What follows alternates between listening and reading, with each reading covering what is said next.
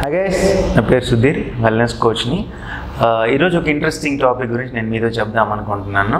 అది ఏంటి అంటే ఇండైజెషన్ ప్రాబ్లమ్స్. సో ఈరోజు చాలామందికి ఇండైజన్ అండ్ గ్యాస్ట్రైటిస్ ఫుడ్ సరిగ్గా అరగకపోవటం బ్లోటింగ్ ఎఫెక్ట్ ఇట్లాంటివన్నీ చాలా ఉంటూ ఉంటాయి అన్నమాట సో చాలామంది రకరకాల మెడిసిన్స్ వాడుతూ ఉంటారు డాక్టర్ దగ్గరికి వెళ్తూ ఉంటారు. సో చాలా రకాల ప్రయత్నాలు చేస్తూ ఉంటారు కానీ ఒక పట్టాన కంట్రోల్ అవ్వకుండా ఉంటాయి. సో అసలు ఫస్ట్ ఆఫ్ ఆల్ మనకి ఎందుకు ఇండైజెషన్ ప్రాబ్లమ్స్ వస్తాయి అనేది కనుక బ్రీఫ్గా చెప్పాలి అంటే క్లుప్తంగా చెప్తాను జాగ్రత్తగా వినండి. ఒకటి ఏంటి అంటే మనం తీసుకునే ఆహారం కనుక- మనం బాడీలోకి వెళ్ళిన తర్వాత స్టమక్లోకి వెళ్ళిన తర్వాత స్టమక్ ప్రాసెస్ చేస్తుంది.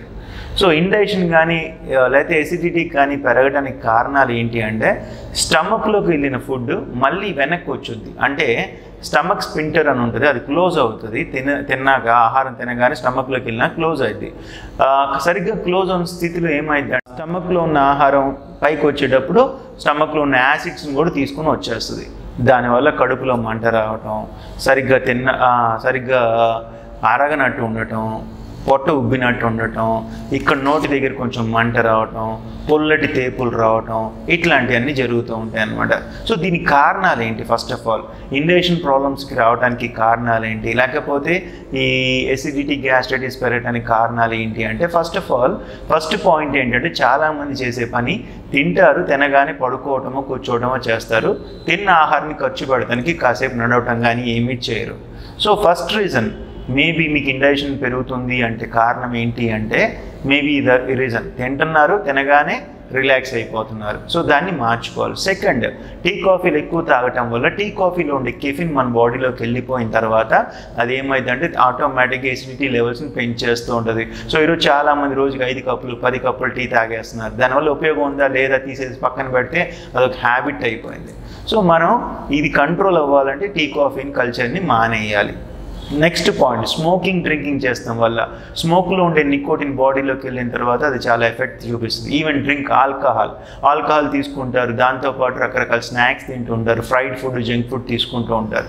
సో స్మోక్ చేయటం వల్ల డ్రింక్ చేయటం వల్ల కూడా మేబీ కొంచెం బ్లోటింగ్ ఎఫెక్ట్ ఇండైషన్ ప్రాబ్లమ్స్ వచ్చే అవకాశాలు ఉంటాయి అన్నమాట నెక్స్ట్ కరెక్ట్గా స్లీప్ లేకపోవటం వల్ల ఓవర్ వెయిట్ మోస్ట్ ఇంపార్టెంట్ అంటే ఒబెసిటీ ఒబెసిటీలో ఉండటం వల్ల ఉండాల్సిన దానికంటే అధిక బరువు ఉండటం వల్ల మన బాడీ మెటబాలిజం అంతా డిస్టర్బ్ అయ్యి డైజెషన్ ప్రాబ్లమ్స్ వస్తూ ఉంటాయి అన్నమాట.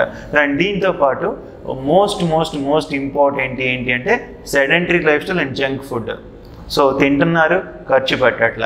అండ్ మనం తీసుకునే ఆహారం ఈరోజు డెబ్బై నుంచి ఎనభై శాతం food junk food processed food ఉంది. సో దీన్ని మనం కంట్రోల్ చేసుకోవాలి. సో ఇవన్నీ మన బాడీలో ఇండేషన్ పెరగడానికి కానీ లేకపోతే గ్యాస్ట్రైస్ ఎసిడిటీ పెరగడానికి కానీ కారణాలు కొన్ని కారణాలు. సో ఇప్పుడు మనం ఏం చేయాలి? మా సుఖీభావ ఫిలాసఫీ ఏంటి అంటే prevention is better than cure. నివారణ కంటే నిరోధన ఉత్తమం. అంటే జబ్బు వచ్చిన తర్వాత కాదు రాకముందే జాగ్రత్త పడాలి.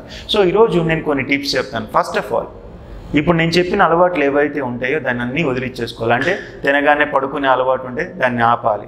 రెండు టీ కాఫీ అలవాటు ఉంటే దాన్ని కంట్రోల్ చేయాలి. మూడు స్మోకింగ్ డ్రింకింగ్ ఉంటే దాన్ని కంట్రోల్ చేయాలి.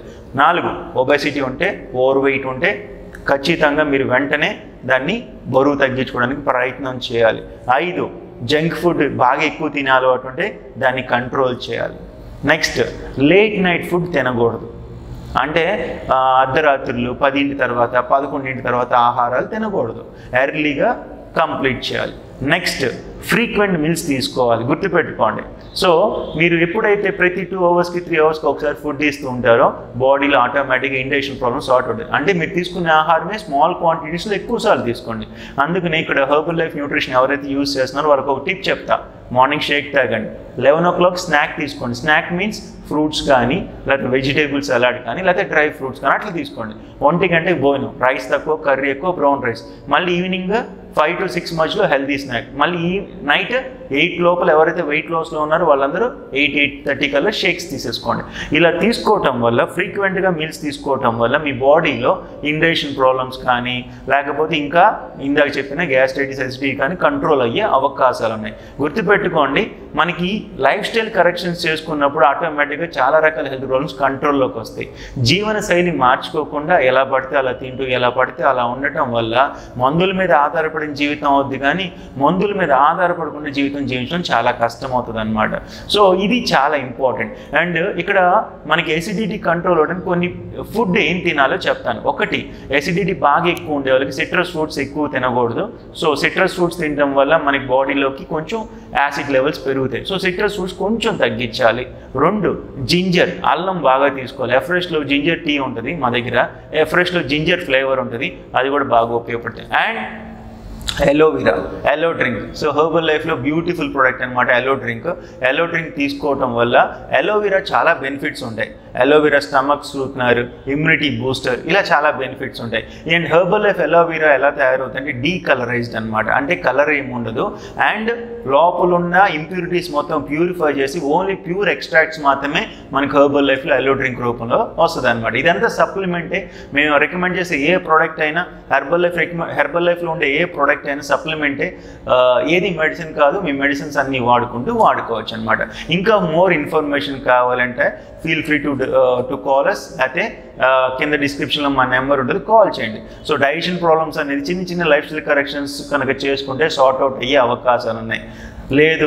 మన లైఫ్ స్టైల్ కరెక్షన్స్ చేసుకోకుండా ఉంటే కనుక జీవితాంతం మెడిసిన్ మీద ఆధారపడాల్సిన అవసరం ఉంటుంది. So corrections చేసుకున్నామా?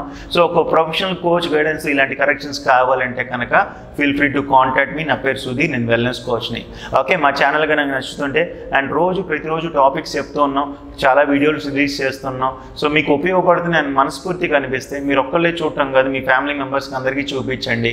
ఇంకా మీ ఫ్రెండ్స్కి రిలేషన్స్కి షేర్ చేయండి సబ్స్క్రైబ్ చేసుకోమనండి బెల్ బటన్ ప్రెస్ చేయండి. ఒకవేళ మీరు కనుక హెర్బల్ లైఫ్ న్యూట్రిషన్ ఒక ప్రొఫెషనల్ కోచ్ గైడెన్స్తో మీరు చేద్దాము అనుకుంటే కనుక ఖచ్చితంగా feel free to contact me thank you so much take care